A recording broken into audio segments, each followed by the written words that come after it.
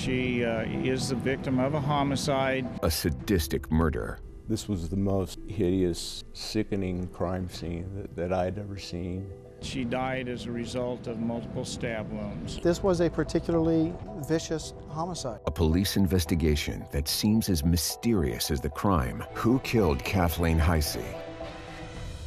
This kind of behavior in a crime scene often derails investigations because it is so shocking and it is so unusual that uh, investigators often tend to put too much attention to it. Okay. And it detracts from what is the most likely explanation. According to Detective Absher from Bakersfield PD, Kathleen Heisey was known to frequent the VIP lounge.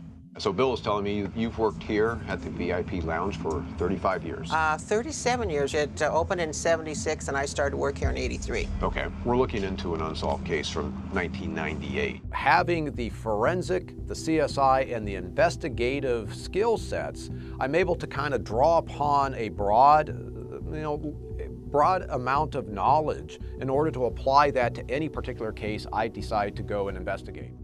Now, in, in 1998, this unsolved case, uh, the victim's name was Kathleen Heisey. So, going back to Mr. Brown, my question would be how does he know her? One of the difficulties that I have in linking him to Kathleen is the fact that uh, Kathleen's purse was found emptied in the hallway bathroom. However, there's $270.25 in the wallet. I have a difficult time imagining him seeing that money and leaving it there. Olivia LaVoice is a case, she has a case that she's very familiar with, and that's the Kathleen Heisey case that Bakersfield PD has been investigating for quite some time. I've spoken with Olivia. She has great knowledge about that case.